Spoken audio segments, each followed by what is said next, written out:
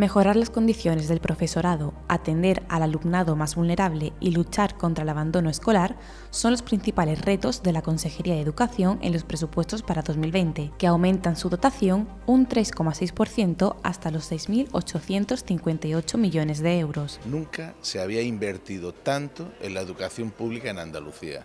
Son 217 millones más para 2020 y un incremento de 456 millones respecto al último presupuesto del Gobierno socialista en 2008. El consejero Javier Imbroda mantiene su apuesta por reducir las tasas de fracaso y abandono escolar temprano con medidas como el programa de refuerzo estival que volverá a ofertarse el próximo verano. Educación también reforzará el fomento del deporte en edad escolar para elevar la tasa de prácticas en Andalucía. En combatir el abandono escolar con un plan integral de refuerzo y en aumentar las tasas de práctica deportiva y en becas para nuestros deportistas de rendimiento. Otro objetivo de importancia para la Junta es mejorar la situación del profesorado con nuevas medidas para que las bajas de los docentes se cubran lo antes posible.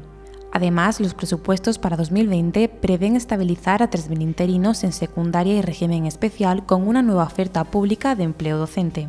Todo ello sin olvidar la atención a los alumnos con necesidades específicas de apoyo educativo.